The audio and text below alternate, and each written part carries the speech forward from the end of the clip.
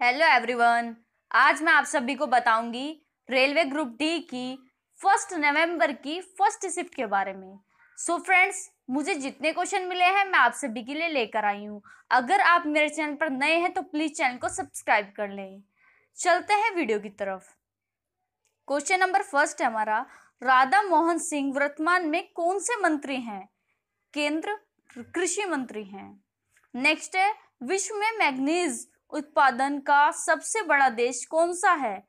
चीन, सबसे बड़ा देश है। बिहार राज्य के वर्तमान राज्यपाल कौन है? लालाजी टंडन।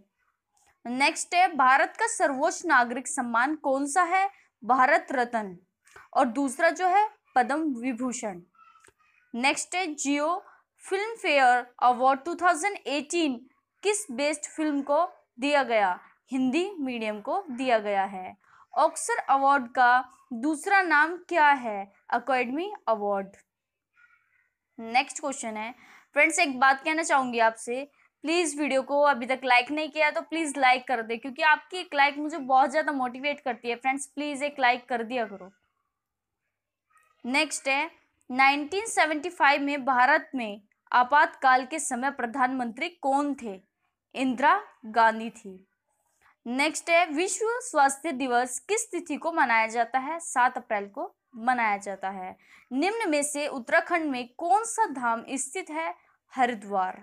ये क्वेश्चन पहले भी एक बार आया हुआ है तो प्लीज़ इसको आप अच्छे से पढ़ लें। नेक्स्ट शिफ्ट में आ सकता है फ्रेंड्स नेक्स्ट है, गुजरात के मुख्यमंत्री कौन है? विजय रूपाणी प्रेम सिंह घूमल किस राज्य से संबंधित है? हिमाचल प्रदेश से। नेक्स्ट है, पृथ्वी की त्रिज्या कितनी है? यह है six three seven one kilometre छः हज़ार तीन सौ इकहत्तर किलोमीटर, इसका व्यास है बारह हज़ार सात सौ बयालीस किलोमीटर का।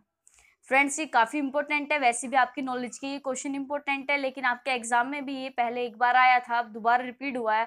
तो फ्रेंड्स इसके आने के चांस काफ़ी बनते हैं, इसको आप अच्छे से पढ़ लें। फिर नेक्स्ट क्वेश्चन हमारा, अमोनिया के अंदर नाइट्रोजन और हाइड्रोजन का अनुपात क्या होता है? वन रेशो थ्री एक अनुपात, तीन. आधुनिक आवर्त सारणी में सत्रहवें समूह को क्या कहा जाता है? हेलोजन कहा जाता है.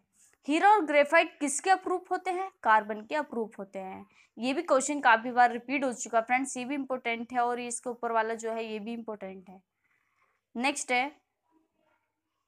Calcium carbonate C S U three गर्म करने पर क्या बनता है? कैल्शियम ऑक्साइड बनता है बिना भुजा चुना, जिसे बोलते हैं।